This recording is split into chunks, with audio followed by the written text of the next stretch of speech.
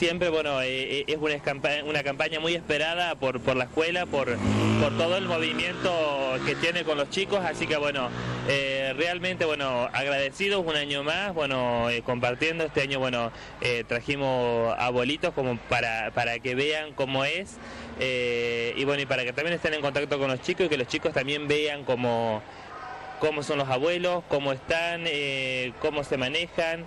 Si bien eh, la escuela 70 está asiduamente yendo al, al- al hogar San Francisco, eh, también es bueno que, que los abuelitos vengan a la escuela a visitarlos a ellos también, así que bueno, creo que fue lindo el gesto cuando me lo pidieron, así que bueno, enseguida le dije que sí, que estábamos disponibles, así que bueno, convocamos a la, a la municipalidad para que nos preste la tráfico para poder traer los abuelitos, así que bueno, acá también estuvieron presentes en este lanzamiento de un, an- un año más de la campaña. ¿Cuántos años ya van? A ver eh, si sabes.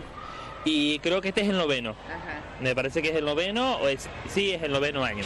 Así que, bueno, año a año siempre esta pequeña semillita fue germinando y bueno, creo que este año nuevamente va a tener muchos éxitos como años anteriores.